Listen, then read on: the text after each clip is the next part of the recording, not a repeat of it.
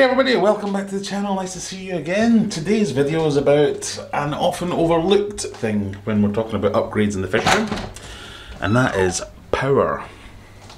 So we'll take you outside. There we go for anyone that's interested, that's the front of my house and there's the garage. That's been converted into my fish room. So at the front of the garage we've got this little bit of storage area. And that's what we've done. So this was the original consumer unit.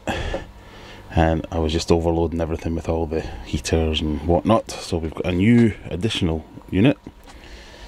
And he's just taken off taking the cooker off of there and split the sockets across here. So this um, so there's my new sockets here which is on a 32 amp circuit or 32 amp breaker. So that's going to handle a lot more.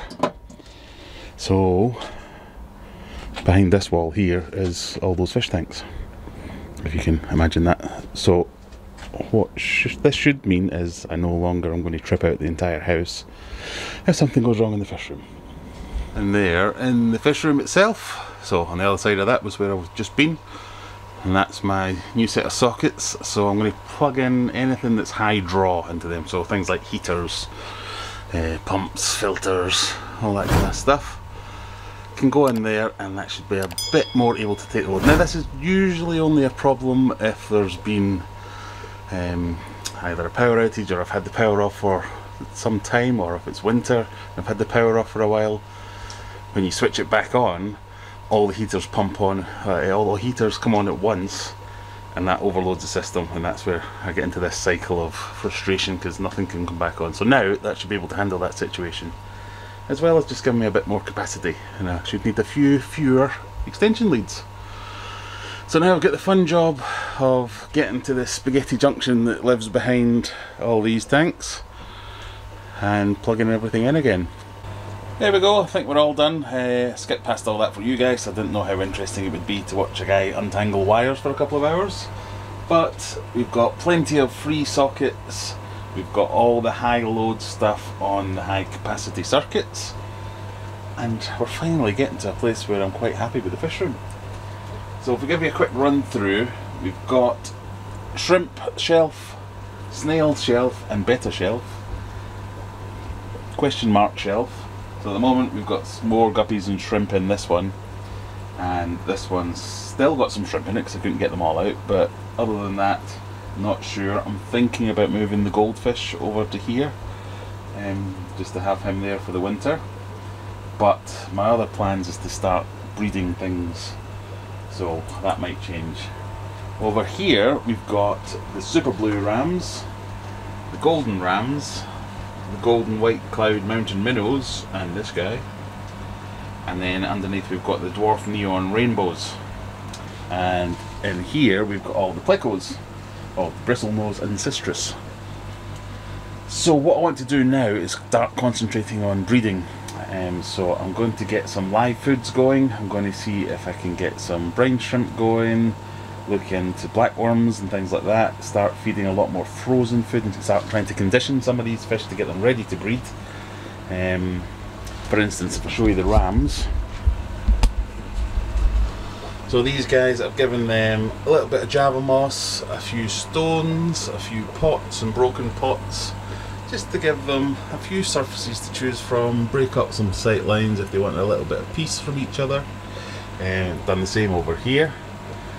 Need to get some more food into them to condition them up, get them happy with it. Uh, but that should be good to go. Um, and the white clouds over here I need to change this up a little bit. I'm going to get rid of this filter that was just in there to keep some flow going. I'll probably swap out that air stone for our other sponge filter. Move this guy get him into the other tank. Um, where is that drip coming from?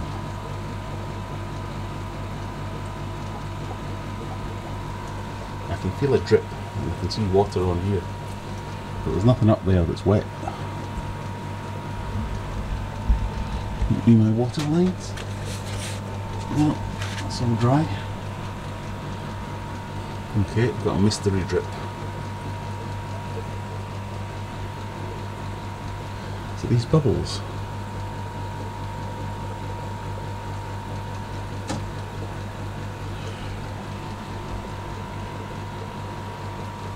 Okay, don't know what's going on there.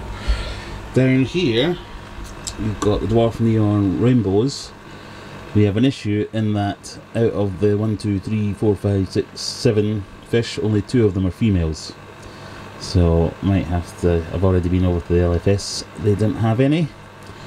So need to keep a lookout before that will work properly. But these fish, the bigger ones anyway, they're certainly looking really good. Um, big clump of Java moss in there. Hopefully this water sprite will take over soon too. That will give them places to, to spawn in. I'll probably get rid of the moss and use an actual... I'll probably get rid of the moss and use an actual spawning mop just so as I can lift out the mop and put it in one of the other tanks to see if I can grow them on.